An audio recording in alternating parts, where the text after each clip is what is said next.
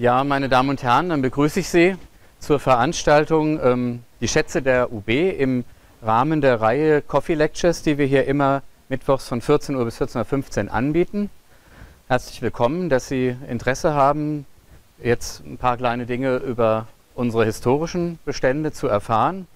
Wenn Sie sehen, Schätze der UB, da habe ich ein Bild vorbereitet, das vielleicht so ein bisschen diesen, diesen Schatzeffekt auslöst. Das sind hier diese Goldmünzen, Silbermünzen, Bronzemünzen. Ähm, das ist einer der alten Bestände, die wir haben. Das ist die Münzsammlung. Es ist nicht die Münzsammlung der UB, sondern die Münzsammlung der Universität mit über 2000 Münzen, die aber auch in der UB aufbewahrt wird und vom ähm, Archäologischen Institut hier betreut wird. Ja, was haben wir eigentlich, wenn Sie hören Schätze der UB? Was glauben Sie, was so eine UB wie wir haben. Die UB ist älter, als Sie das vielleicht denken. Die UB ist im Jahr 1612 gegründet worden. Und seit diesem Gründungsjahr hat die UB ähm, Bände, Bücher gesammelt. Und die wirklich wertvollen davon befinden sich bis heute in der Universitätsbibliothek. Aus dem Grund, weil sie im Zweiten Weltkrieg ausgelagert waren. Alle Bände bis ungefähr zum Jahr 1600, also zum Jahr 1600 wurden ausgelagert auf verschiedene Orte um Gießen herum, in Pfarrhäusern, in Kirchtürmern. Und deshalb sind diese Bände auch heute noch erhalten, während die UB, die eigentliche UB, die Sie vielleicht kennen, in der Bismarckstraße, da steht heute die sogenannte alte UB, aber es gab noch eine alte UB vor der, die ist am 6. Dezember 1944 zerstört worden und der Magazinbau relativ vollständig abgebrannt und alle dort noch aufbewahrten Bücher sind verloren gegangen. Heute sind unsere ähm, wertvollen Stücke gut aufbewahrt. Wir haben einen begehbaren Tresor, im Haus. Der ist klimatisiert, der hat relativ gute ähm, Aufbewahrungsbedingungen. Es ist ähm, konstant kalt, es ist ähm, konstant feucht. Und im Rahmen ähm, oder in der Nähe dieses Tresores ist ein Sonderlesesaal, wo Sie diese Bestände auch ähm, benutzen können. Sie können sie benutzen, wenn Sie besondere Forschungsinteressen haben. Wir können nicht für jeden diese Sammlungen zugänglich machen. Das wäre für die Objekte nicht so schön, dann würden die kaputt gehen. Also wenn jeden, jeden Tag jemand kommt und sagt, ich würde aber unbedingt mal diese Lutherbibel sehen, dann würde das auseinanderbrechen. Aber wenn Sie bestimmte Forschungsinteressen haben innerhalb Ihrer Semesterarbeiten oder im Rahmen von Seminaren und Abschlussarbeiten, können Sie das gerne benutzen und es ist auch ein größerer Teil dieser historischen Bestände ist schon digitalisiert. Der kann also im Netz angesehen werden. Ich zeige Ihnen aber noch, wo das geht.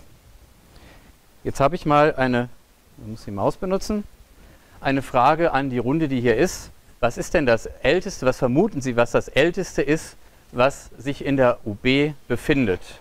Das älteste Objekt in der UB sind 46 assyrische Keilschrifttafeln, die ungefähr um das Jahr 1800 vor Christus entstanden sind, also vor unserer Zeitrechnung, und in der Osttürkei, im heutigen Anatolien, in Kanesch, Kültepe, gefunden worden sind. Die sind 1929 von der Gießener Hochschulgesellschaft angekauft worden. Die haben wir heute noch in der UB sind alle digitalisiert. Können Sie, wenn Sie Asyrologe sind, auch benutzen. Ich bin es nicht, ich kann das nicht lesen, aber ich weiß, wo ich nachlesen kann, was draufsteht. Was gibt es noch außer diesen ähm, assyrischen Keilschrifttafeln? Wir haben in der äh, Bibliothek über 2300 antike Papyri. Was das ist, hoffe ich, wissen Sie vielleicht. Das sind ähm, Stücke aus der Antike, auf so einem Faserpapier in Rollen aufbewahrt. Bei uns ist es meistens eher ein bisschen kaputt und fragmentarisch.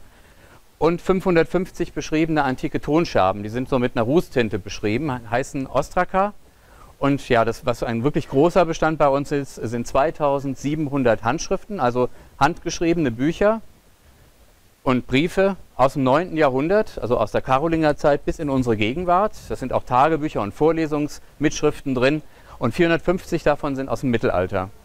Dann haben wir 112 Nachlässe, das sind ähm, ja, die Überbleibsel oder das, was Professoren noch an Papieren, Konzepten aufbewahrt haben. 112 Nachlässe haben wir im Haus, 900 Drucke aus der Gutenbergzeit, das sind ähm, sogenannte Inkunabeln, das sind nicht ganz 900, ähm, in mehreren, in über 500 Bänden.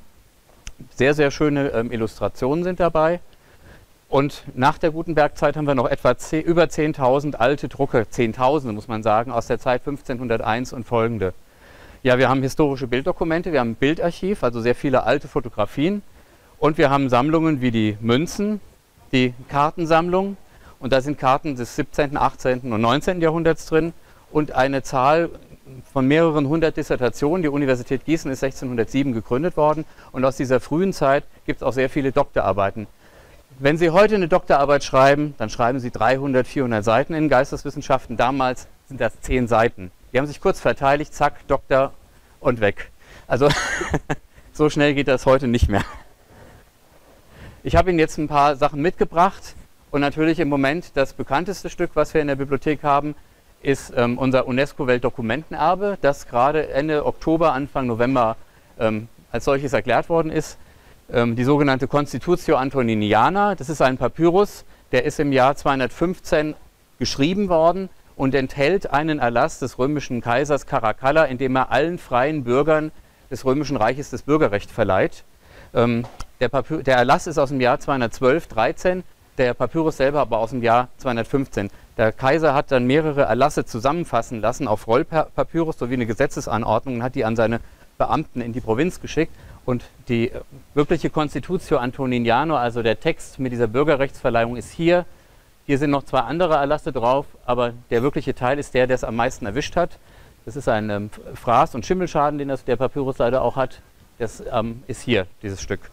Wir haben das inzwischen im Internet stehen, da können Sie sich nochmal in einer größeren ähm, Aufnahme angucken. Was haben wir noch? Ich gehe jetzt einfach mal ein paar Stücke durch, die wir haben, dass Sie mal so eine Idee bekommen. Eins unserer wertvollsten Stücke der mittelalterlichen Handschriften ist ähm, eine Handschrift des Iwein, des Hartmann von Aue. Hartmann von Aue ist ein Dichter des Mittelalters, der noch mehr geschrieben hat. Das sind Gedichte vom Artushof, da reiten immer Ritter rum und erleben Abenteuer, bringen, ähm, ja, schlagen sich und kommen irgendwann hinterher wieder am Hof und werden ausgezeichnet für das, was sie erlebt haben. Und da haben wir eine der beiden ältesten Handschriften, die weltweit erhalten sind, aus dem zweiten Viertel des 13. Jahrhunderts.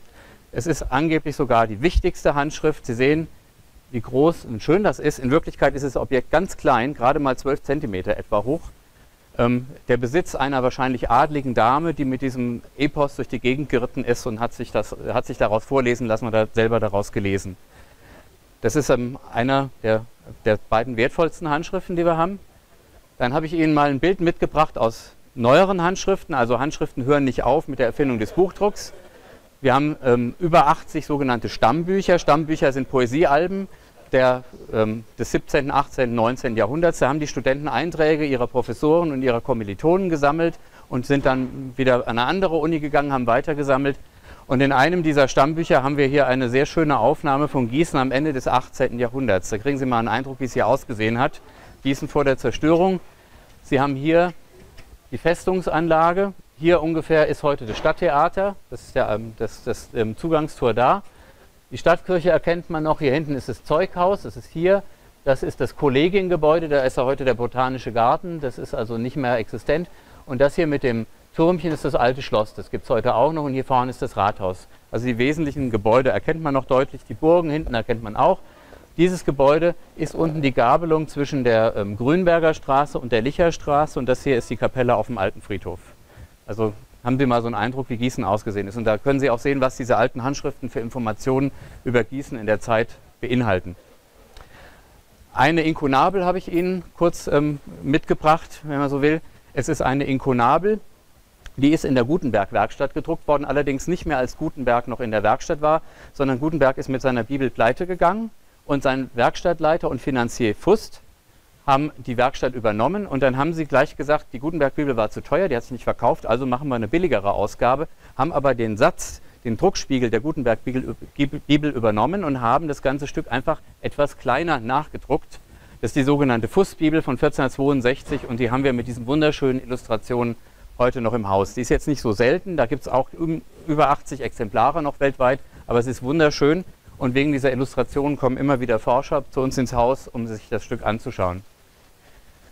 Historische Bilddokumente.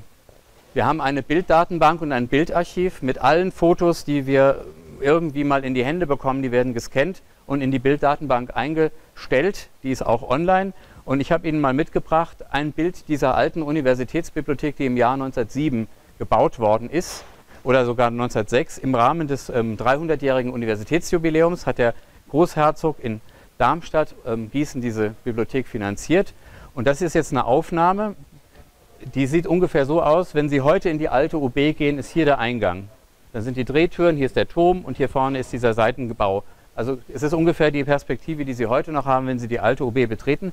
Es gibt noch eine sehr schöne ähm, ja, Portalansicht von vorne, die habe ich aber jetzt mal mit Absicht weggelassen. Sie sehen, hier fahren noch Kutschen rum, das sind noch Pferde davor, keine Autos. Dieses Gebäude hier hinten steht noch, hier ist heute die Liebigschule. Und Sie sehen einen ganz modernen Magazinbau, gehalten in Jugendstil, mit ähm, Stahlträgeranlagen. Und hier vorne, hier oben, diese großen Fenster sind der Lesesaal, auf der anderen Seite auch Gießen hatte 500, 600 Studenten. Dafür hat die Bibliothek wunderbar gereicht. Heute würde das nicht mehr gehen. Aber Sie sehen, wie schön auch dieses Gebäude war. Und sein, sein, Problem war, dass es eine ganz träger Stahl-Regalanlage ähm, hatte, als das, der, der Bibliotheksbahn ähm, gebrannt hat 1945 oder 1944, ist dieses ähm, ganze Magazin von oben nach unten verglüht und hat die Bücher mit verbrennen lassen. Jetzt sind wir auch schon im Grunde am Ende. Ähm, ich habe Ihnen einfach nur diese ähm, Bilder mal gezeigt, damit Sie sehen, was für ein Potenzial da ist. Und ich zeige Ihnen jetzt mal, wo Sie mehr über unsere Sammlungen erfahren können. Natürlich können Sie, wenn Sie ein Stück sehen wollen, in den Sonderlesesaal kommen und für Ihre Forschung, Ihre Semesterarbeiten benutzen. Aber es gibt zwei schöne Sucheinstiege, die wir haben. Der eine ist die Sammlungswebseite der UB. Die mache ich jetzt mal auf. Ich hoffe, dass ich den Link aufkriege. Und zwar ist das ist unsere Sammlungsseite und wenn Sie über Bibliothekssystem über uns gehen, dann finden Sie die Startseite. Hier haben Sie auch nochmal die ähm, unterschiedlichen Sammlungen zusammen, die Handschriften, die Papyrussammlungen, Nachlässe, Inkunabeln, alte Drucke und unser Bildarchiv hier unten mit den historischen Ansichten. Der andere Weg, jetzt muss ich hier die PowerPoint-Folien wiederfinden, den Sie haben, sind unsere digitalisierten Sammlungen, unsere digitalen Gießener Sammlungen. Da haben wir hier die Startseite. Wir ziehen im Moment auf eine andere Präsentationsplattform um. Deshalb ist hier gar nicht alles drin, was wir digitalisiert haben. Aber hier können Sie Handschriften, Urkunden, Inkunabeln sich auch nochmal in Ruhe anschauen. Ich gehe erst einfach mal auf die Handschriften. Wir haben hier mehr über 100 mittelalterliche Handschriften schon eingestellt. Auch eine sehr, sehr schöne Handschrift ist ähm, die Handschrift 232, das sogenannte Gießener Droja-Buch. Das ist eine Handschrift, die ist im Elsass im späten 15. Jahrhundert entstanden, mit sehr, sehr vielen Illustrationen zum Trojanischen Krieg. Es ist ein deutschsprachiger Text. Es ist eigentlich eine auf Masse produzierte Handschrift mit wunderschönen Darstellungen von Rittern, die ähm, ja, Aventüren, Abenteuer erleben. Und diese Handschrift ist auch wieder immer mal wieder für Ausstellungen angefragt. Also diese beiden Wege haben Sie sehr schnell auch mal einen ähm, Zugang zu unserem Angebot in den historischen Beständen zu finden. Und damit bin ich mit einer Viertelstunde auch schon am Ende meiner Coffee Lecture angehört und bedanke mich ähm, für Ihr Interesse.